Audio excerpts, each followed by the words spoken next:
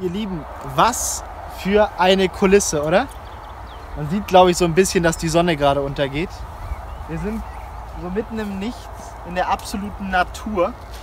Ich habe gedacht, ich nehme das Portemonnaie aus der Tasche, aber äh, dicke Taschen verstecken dann auch nicht meinen Bauch, oder?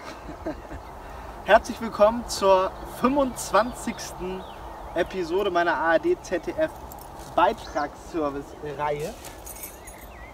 Und ich wurde überschüttet mit Anfragen, weil ähm, über drei Monate jetzt kein Video mehr kam zum Thema äh, GEZ-Beitragsservice. Also seit äh, meinem letzten Video, das Mitte März äh, produziert wurde, wo ich ja gesagt habe, es ist noch nichts wieder passiert, kann ich jetzt sagen, wir haben jetzt ähm, Ende Juli, ja, letzten Tag im Juli haben wir, glaube ich, und es passiert nichts. Also ich kriege keine Anschreiben von der äh, Stadt oder von irgendeinem Gerichtsvollzieher, gar nichts. Also absolute Ruhe. Äh, das Einzige, was zwischenzeitlich nochmal kommt, ich denke, das ist auch ein automatisierter Prozess, ist, dass vom Beitragsservice dann mal wieder eine Festsetzung oder dergleichen kommt. Ja? Also am 1.6. Oder, oder allgemein jetzt im Juni habe ich kein, keine Post vom Beitragsservice gekriegt, aber es ist mir auch tendenziell nicht aufgefallen. Man hat da, glaube ich, auch irgendwann so, ein, ja, so eine Gleichgültigkeit, zumindest was diese Beitragsbescheide betrifft, einge, sich eingetrichtert. Und es ist ein total geiler Zustand. Es ist quasi wie hier in der Natur. Ja? Du bist total frei. Ne? Und das ist ja eigentlich das, worum es geht. Ne? Frei zu sein, selbst zu entscheiden, was möchte ich und was möchte ich nicht. Ja? Es ist ein total angenehmer Zustand, in dem man sich momentan in diesem Prozess befindet. Keiner, äh, keine höhere Instanz will, will was von einem. Ja? Kein Gerichtsvollzieher ist gekommen, kein Anschreiben von der Stadt oder vom Gerichtsvollzieher. Also ihr könnt euch sicher sein, wenn da irgendwie was kommt, dann seid ihr immer direkt auf dem neuesten Stand. Dann kommt direkt ein Video, wenn da wieder irgendein dickes Schreiben kommt. Aber ich brauche jetzt wirklich nicht ein Video zu machen, wenn mal wieder ein Beitragsbescheid kommt. Das muss nun wirklich nicht sein, aber selbst der kommt nicht mehr regelmäßig. Also ich will euch das auch mal erklären, warum das so ein schöner Zustand ist, in dem man sich befindet.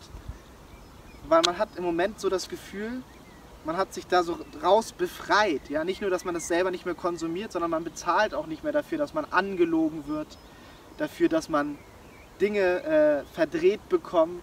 Ja? Also diese, diese Umerziehung, Dinge zu glauben, so wie sie in den öffentlich-rechtlichen Medien dargestellt werden. Man zahlt einfach nicht mehr dafür und es ist ein absolut schöner Zustand zu wissen, ich zahle nicht für den korrupten Scheiß, der da stattfindet. In dem Zustand, in dem ich mich aktuell äh, befinde, da hat man so das Gefühl, man hat so eine Etappe zumindest gewonnen. Aber ich kann euch an der Stelle sagen, das Video soll auch nicht zu lang werden. Es ist ein absolut schöner Zustand ähm, zu wissen, ich habe noch nie bezahlt und momentan erzwingt es auch keiner, dass ich eine Leistung abdrücke. Ja? Für dieses ganze Lügenkonstrukt, für die ganzen Pensionen. Ja? Ich sage ja immer und viele andere, die diesen Weg auf ihre Art und Weise auch bestreiten, informiert euch selber, was mit diesem Geld, mit dieser, dieses Geld, was aus dieser Struktur kommt, was damit passiert, wofür es ausgegeben wird. Ne?